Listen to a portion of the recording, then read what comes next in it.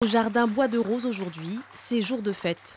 Après trois mois de préparation intense, une serre pédagogique vient faire vivre davantage ce parc privé, bien connu à Montsinéry-Tonnégrande, et créé en 1986 par Liliane Louison. Un nom pour une famille passionnée de botanique et de pharmacopée guyanaise.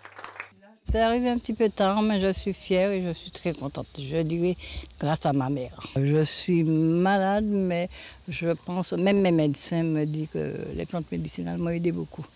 Sa serre pédagogique, Liliane Louison l'avait imaginée dès 2017, un moyen de plus pour transmettre l'amour des plantes.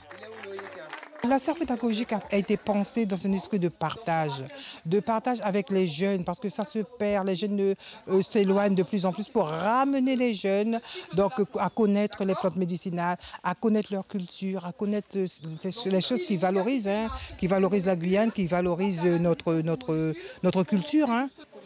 Ici respirent une soixantaine d'espèces végétales endémiques, des fruits, des plantes et des arbres allant du bois de rose à l'abricot pays en passant par un certain guéritou qui prétend traiter tous les maux du corps. La nature et ses vertus s'exposent au public sous les conseils avisés d'une experte et l'œil averti de quelques nostalgiques.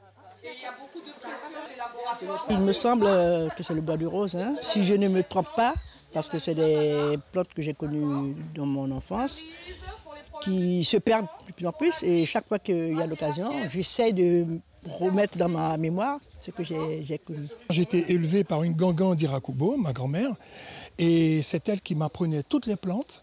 Et maintenant, j'essaie de me remémorer toutes ces plantes qu'elle me disait, ça c'est pour le cœur. Et je regrettais parce que quand elle me disait, viens avec ton cahier, tu puisses écrire. Et moi, ben, c'était la jeunesse, euh, c'était la bringue, c'était les copains et tout. Et maintenant, je, regrette énormément cela. Mais quand même, il y a certaines choses qui me sont restées que je tiens quand même à exploiter et améliorer. Et d'autres apprécient simplement la découverte. J'apprends plein de choses, j'avoue qu'à ce niveau-là, euh, j'avais du mal à reconnaître les plantes. Là, euh, là déjà, j'aurais pris beaucoup aujourd'hui en tout cas. Donc on va revenir.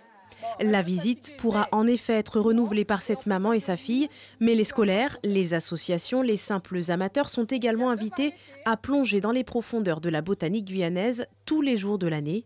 Pour la famille Louison, le prochain défi consistera à instaurer une signalétique dans les deux hectares de son jardin fleuri. Suivez l'info sur Guyana Première, télé, radio et Internet.